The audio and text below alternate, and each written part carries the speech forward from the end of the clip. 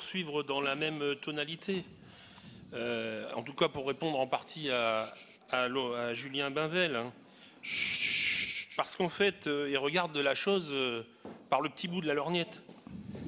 D'une part, sur le fait que le droit de grève est, quelque chose qui est constitutionnel et que, effectivement, les conséquences du fait qu'on ne ramasse pas les ordures ménagères est bien lié à ce projet de réforme injuste et brutale.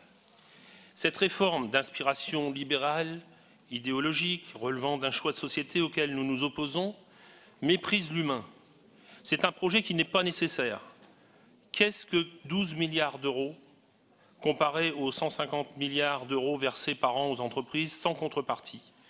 Les subventions, les crédits d'impôt, les allègements de cotisations en effet, en repoussant l'âge légal de deux ans, il s'attaque en particulier aux plus précaires, aux femmes qui ont les carrières hachées, aux carrières longues, aux professions pénibles.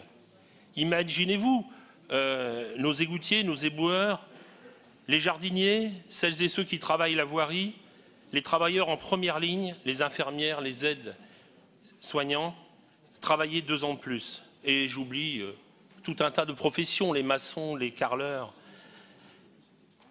cette mobilisation large et massive depuis le 10 janvier dans toute la France, avec l'appel de l'ensemble des organisations syndicales unies contre la réforme, avec un record de participation, plusieurs millions de personnes dans la rue chaque semaine, semaine après semaine, et avec un prochain rendez-vous le 13 avril prochain, des sondages qui indiquent que 70% des Français, dont 90% des actifs, ne veulent pas du report de l'âge de la retraite, un mouvement pacifique et exemplaire, l'exaspération face à un gouvernement qui reste sourd et sans tête.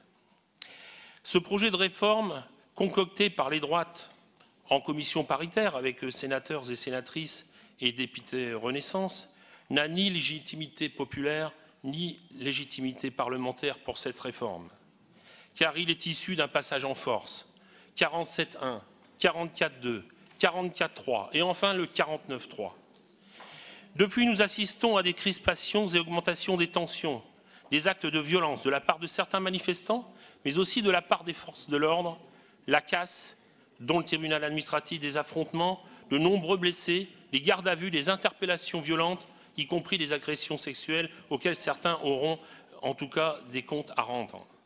La politique du maintien de l'ordre vise à criminaliser le mouvement social et c'est un danger pour notre démocratie. L'atteinte au droit de grève, les réquisitions, les déblocages violents, comme à Donge, comme au centre de tri de la Poste, avec des assignations au tribunal, les salariés de Veolia ont été graciés puisque les directions ont été déboutées. Tout cela nécessite urgence de réformer et de retirer cette réforme pour un apaisement du pays. Le cas échéant, il faut appeler à un référendum d'initiative populaire avec l'ouverture d'un grand débat national où chacun exprimera ses positions et le peuple tranchera. Cet acte permettra de renouer avec une démocratie aujourd'hui bafouée.